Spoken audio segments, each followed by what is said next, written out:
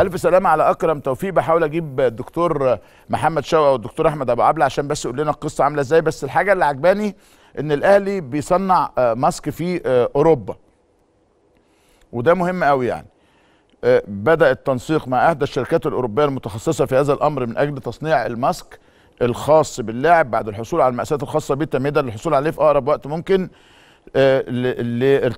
تمهيدا لارتدائه عقب انتهاء فترة الأسبوعين. وده مهم جدا. هو الفحوصات قالت إنه آه، عنده شرخ في عظمة الوجه. ولازم دكتور تجميل يخيط موضع الجرح كده بعملية تجميلية لكن تدخل جراحي لا في علاج اسمه علاج تحفظي كده شغال آه، آه، بيه يعني. فربنا يعني إن شاء الله يعديها على خير. هو راجل هو أكرم الحقيقة كلنا رجالة طبعا لكنه يعني من اللعيبة اللي هو تحس إنه متحمل مسؤولية. والناس كلها بتحبه والناس كلها بتقدره لأنه يستحق هذا الأمر.